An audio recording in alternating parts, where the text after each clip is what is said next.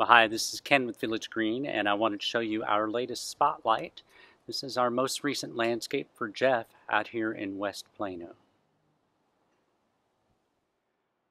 So when we first spoke with Jeff, uh, the main his main concern was that they had lost a lot of plants to the most recent freeze. Those plants were also getting pretty tall for, for in front of his windows and were a little bit hard to maintain. Uh, so it, it, was time to, to do a redo of the landscape anyway. Uh, so, but what he also had were some existing plants. These uh, these are dwarf yaupon hollies, and of course the trees.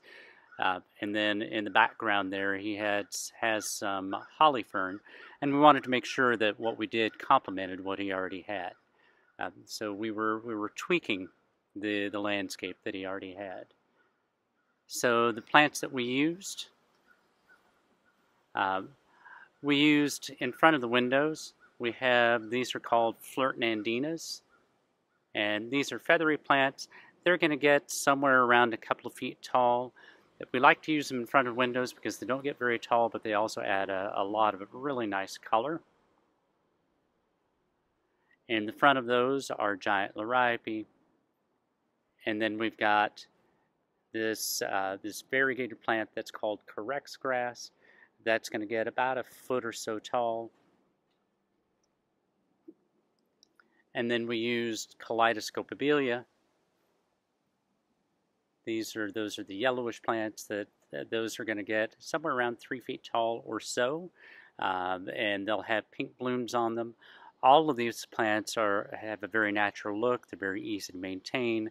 They'll be able to to trim these once or twice a year with just a pair of pick pruners.